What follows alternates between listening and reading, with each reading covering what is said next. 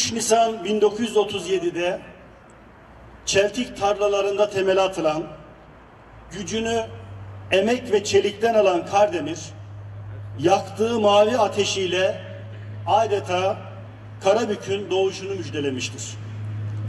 Yakılan o ateş sadece fabrikaların bacalarında değil, aynı zamanda umutların da ateşleyicisi olmuştur.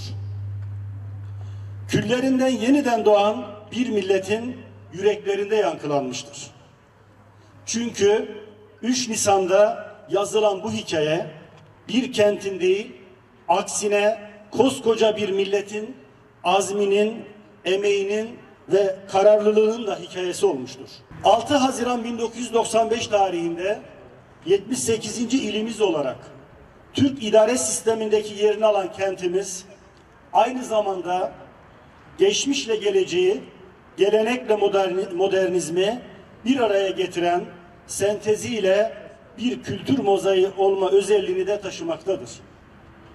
Tarih boyunca ev sahipliği yaptığı sayısız medeniyetin izleri, dünya mirası Safranbolu'nun tarih kokan havası, Karadeniz'in Zeugması, Adrianapolis'in gizemli kalıntıları ve eşsiz doğası, bu kentin bir tarih ve doğa harikası olduğunu tüm dünyaya tescillemiştir.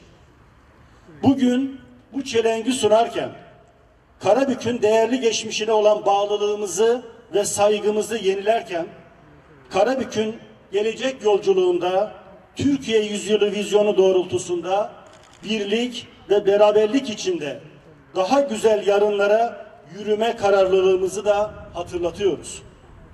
Bu vesileyle Karabük Demir Çelik Fabrikalarının ve Karabük'ümüzün kuruluşunun 87. yıl dönümünü tekraren kutluyorum. Kardemir kuruluşundan bu yana ülkemizin demir çelik sektöründe öncü bir rol üstlenmiş, metalurjiyle ilgilenen, herkesin geçtiği bir mektep olmuş, ondan da öte mühendislerin çoğunun belki ilk göz ağrısı olmuş. Ve ekonomiye ve istihdama sağladığı katkılarla ülkemizin kalkınmasına büyük destek vermiş, temel harcını atmış bir şirketimiz. Ülkemizin sanayileşme adına attığı en büyük adamlardan birisi olan Kardemir, Karabük Demir Çelik Fabrikası, Cumhuriyetimizin kıymetli sanayi miraslarından birisidir. 3 Nisan 1937 tarihinde Türkiye'nin ilk entegre sanayi kuruluşu olarak temelleri atan Karabük Demir Çelik Fabrikası adını tarihe demirden harflerle yazdırmış. 9 Eylül 1939 tarihinde ateşlenen fırın ile 10 Eylül 1939 tarihinde dökülen demir bugün hala ilk günkü gibi değerini korumaktadır.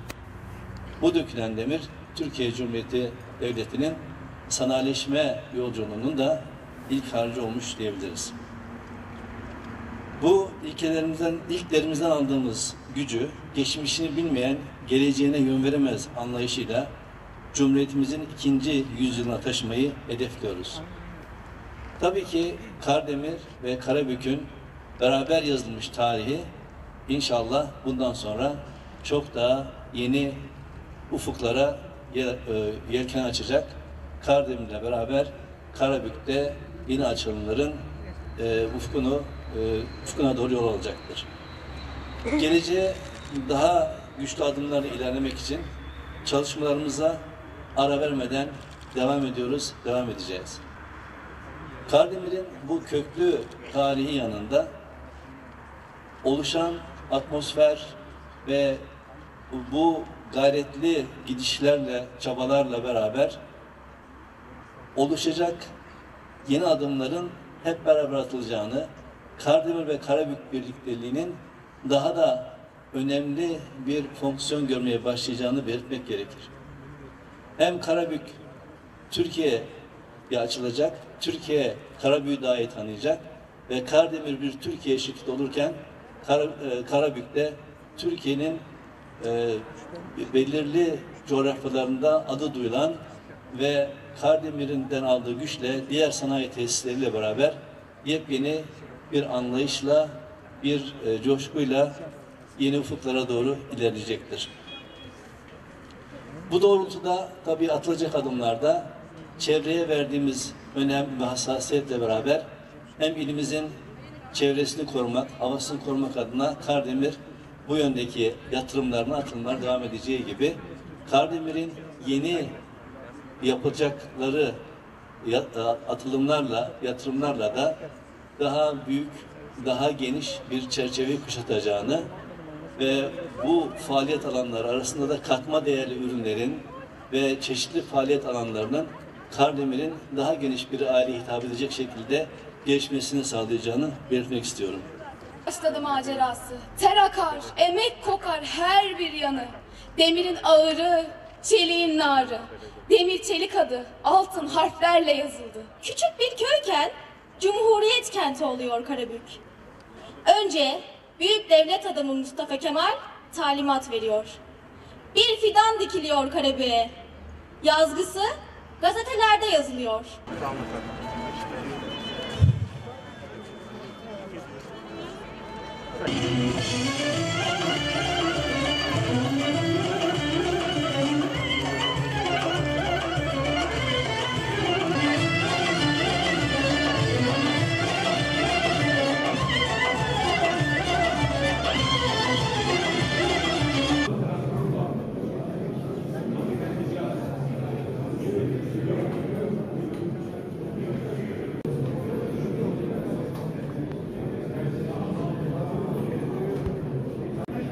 Burada da şey yapıyor zaten 1939